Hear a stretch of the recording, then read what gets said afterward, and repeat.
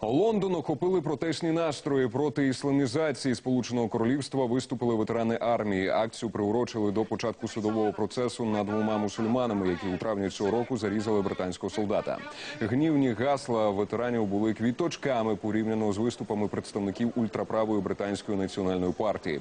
Вони вимагали для підсудних смертної кари.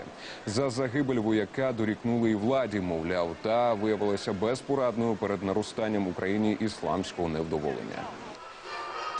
Око за око, зуб за зуб. Якщо вони винні, відправте їх на шибеницю. Лі Рігбі зараз був би живий, якби уряд Британії не втратив контроль над кордонами та поставив край фінансуванню радикальних мусульманських організацій за кордону.